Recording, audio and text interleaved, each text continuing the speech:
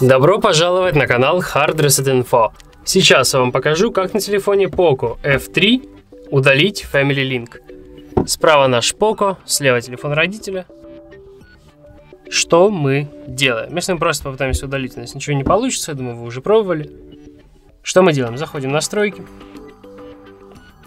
переходим в пункт Google, управление аккаунтом Google,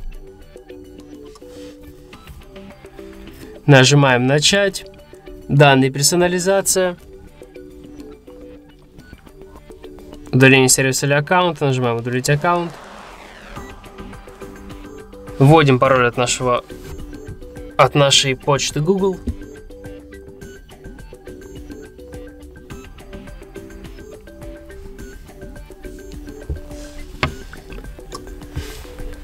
После чего, так, это нам не надо. После чего соглашаемся с тем, что мы удалим Family Link, ставим галочки и нажимаем «Удалить аккаунт». Далее нас перекидывает на страничку, где написано, что аккаунт Google удален. Попробуем обновить. Появляется у родителя ошибка, выходим. И как вы видите, мы просто у него пропали. Теперь можем спокойно удалить Family Link.